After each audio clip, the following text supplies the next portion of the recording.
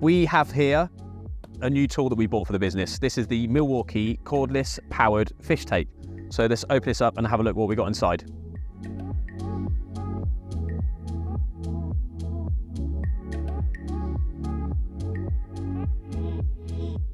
We have the Milwaukee uh, powered uh, fish tape here.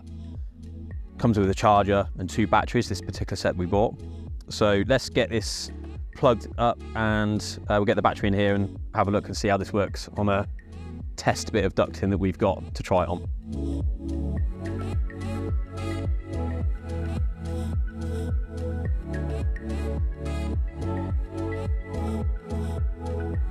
So now we've got the tape through.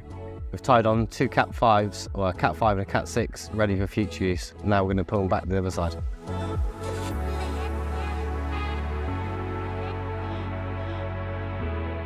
So that seemed to work quite well with uh, cables already in the ducting. Um, quite impressed with how it went through. That was really good. And then drawing the cable, drawing the tape back with cables on it was pretty handy as well. So I think this is quite a nice addition to the to the tool set that we have for the business. So yeah, looking forward to using this more on future jobs.